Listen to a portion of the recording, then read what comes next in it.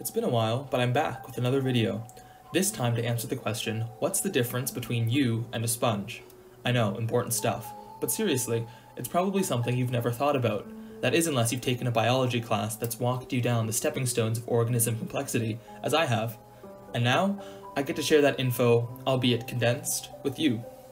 How we'll be doing this is looking at key transitions for key animal phyla, starting at sponges, and then generally increasing in complexity all the way to humans. Although it should be said whether or not something is complex does not make it better or worse. You would do a pretty bad job of sitting on the ocean floor filtering water, while a sponge probably couldn't watch a video about itself on YouTube. We're all adapted to certain environments. For me in particular, my bed. The key transitions we'll be looking at are symmetry, tissue level, body cavity, development, and segmentation, all of which will be explained as they come up per organism. Who lives in a pineapple under the sea? Our first key animal phyla, Porifera. These are our sponges, pore-bearing filter feeders with a keenness to stay in one spot and filter 10,000 times their volume in water per day. They're asymmetrical, meaning there's no plane you can divide and see symmetry. Their tissue level is cell to tissue, they have specific cells that work together to have specific functions, but they don't secrete basement membranes, which is what you need if you want to form true tissue. When it comes to a body cavity, porifera don't really have one, although some asconoid and syconoid sponges do have a spongocoel. What a body cavity actually is, we'll get into more detail when we get to someone who has one. It's connected to their embryonic development, and because sponges don't go further than the blastula, a hollow ball of cells, they don't have a body cavity, Sponges are also not segmented. Moving on to our next phyla, but staying underwater, we have our cnidarians, which you would probably know best as jellyfish, but they actually come in two body forms, the free-floating mouth-down medusa and the anchored mouth-up polyp. The big step here is their possession of true tissues. Cnidarians have cells that work together to carry out very specific functions. They have tissue because they are diploblastic, caused by the blastula folding in on itself during embryonic development to form a gastrula, which then differentiates into the endoderm and ectoderm. As for body cavity, they do not possess one, as it would require them to be triploblastic, but our jelly buddies are only diplo. Although, like porifera, they do have a space that mimics a body cavity, the gastrovascular cavity. Another big step made by the cnidarians is their radial symmetry. Imagine cutting a cake. Now imagine cutting a jellyfish the same way top to bottom, oral to aboral. Similarly aquatic in jelly, we have our ctenophores. These beautifully iridescent comb jellies share all the same key transitions with the cnidarians, except for their symmetry.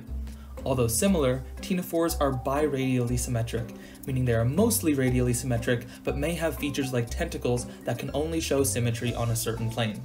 Here's a quick summary of all their key transitions. Platyhelminthes, or flatworms, represent the last change in symmetry we'll see in this exploration.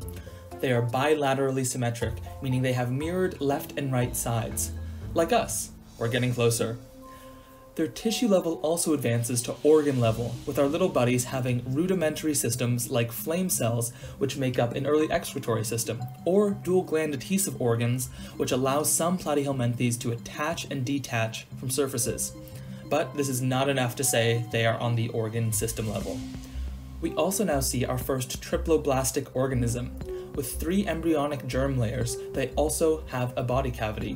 What type of body cavity is based on how the mesoderm, our newest germ layer, surrounds the gut. Platyhelminthes are acoelomates, meaning they lack a coelom, which is a fluid-filled cavity between the gut and body wall. More on their embryonic development, platyhelminthes are Lophotrochozoan protostomes. Being a protostome, their blastopore develops into a mouth with determinate spiral mosaic cleavage of cells during their embryonic stage. Lophotrochozoans are organisms that have a lophophore or trochophore, the former being a horseshoe-shaped tentacle-covered feeding organ, the latter a specialized free-swimming larval stage. Finally, platyhelminthes are not segmented. On to our next worm, Nemertea, or ribbon worms, the first in our exploration to have organ system level tissue, meaning multiple individual organs work together in a bigger system. This bilaterian is also a triploblastic Lophotrochozoan protostome, but differs in having a eucoelomate body cavity, Unlike acoelomates, eucoelomates do not lack the fluid-filled cavity between the gut and the body wall. Additionally, they have a mesodermal cavity called the rhynchocoel, which houses their proboscis, a sticky appendage that can reach out and capture things, or even inject neurotoxin. Once again, this organism is not segmented. Acanthocephala, the exclusively parasitic spine heads. Like the Nemertea, they too have a proboscis, which is a spiny head used to embed themselves into their host, usually fish and birds. But unlike Nemertea, they have a pseudocoelomate body cavity. This type of cavity is fluid filled between the endoderm and mesoderm, meaning the cavity is not derived from the mesoderm. Other than that, they have the same key transitions with Nemertea. Staying in the realm of unappetizing, wiggly creatures, we now move to annelids, or ringworms. The organisms in this species-rich group are bilateral, organ system level, coelomate, triploblastic, lophotrochozoan protostomes. The next big step here is that they are segmented. Also called metamerism, and only possible in coelomates, organisms are constructed of serially repeating parts separated by septa. Within each segment, structures like the excretory, nervous, locomotory, circulatory, and respiratory organs are generally repeated. Segmentation is super important for complexity, we ourselves are segmented, but we haven't quite reached humans yet. So let's continue. We next move to arthropods. Consisting of over 80% of all named animal species, this phylum is incredibly diverse. From ants to spiders to crabs, they're all invertebrates with jointed limbs, an exoskeleton made of chitin, and segmented bodies. Remember how segmentation leads to complexity? Excluding my bias for humans and the phyla we're in, arthropods have to be one of my favorites. Without them, we wouldn't have beautiful pollinated flowers or food like chocolate. Although, admittedly, those can both be attributed to a particular buzzy arthropod. Arthropods are bilateral, organ system level coelomates that are triploblastic protostomes, but are also a ecdysozoan, which means that they molt. And now, us. Humans, vertebrates, chordates, like arthropods, the chordates are also incredibly diverse, from lions to whales, frogs to birds, sharks to monkeys. Of all the phyla we've explored, I bet you would be able to name the most chordates. I also bet you would be able to tell me some of their key transitions. From looking in the mirror, I bet you could tell we're bilateral. Take a breath or feel your pulse and know that we have organ system level tissues. From the complexity of the inner workings of our bodies, you could deduce we're segmented, which would mean, if you were paying attention, that we must be triploblastic coelomates.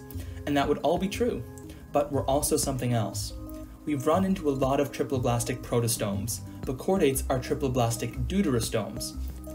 In our development, our cells demonstrate radial cleavage, which is indeterminate, allowing them to become anything, like our anus, which forms first, before the mouth, in deuterostomes. Well, that about wraps it up. I was only able to cover a very brief overview of the incredible depths of animal diversity, so if you found this interesting and are able, I would highly recommend taking courses in the subject. Although I am a biology major, so I may be a bit biased. But back to what really matters the difference between you and a sponge. Hopefully, now you know, and you can tell all your friends that they're not sponges.